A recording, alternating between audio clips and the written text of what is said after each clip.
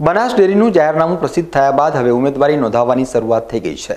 ત્યારે દાંતીવાડા તાલુકાના અને નિવૃત્ત નાયબ પોલીસ અધિક્ષક પરથીભાઈ ચૌધરીએ આજે ગોપાલપુરી મહારાજના આશીર્વાદ મેળવીને પોતાની ઉમેદવારી નોંધાવી છે.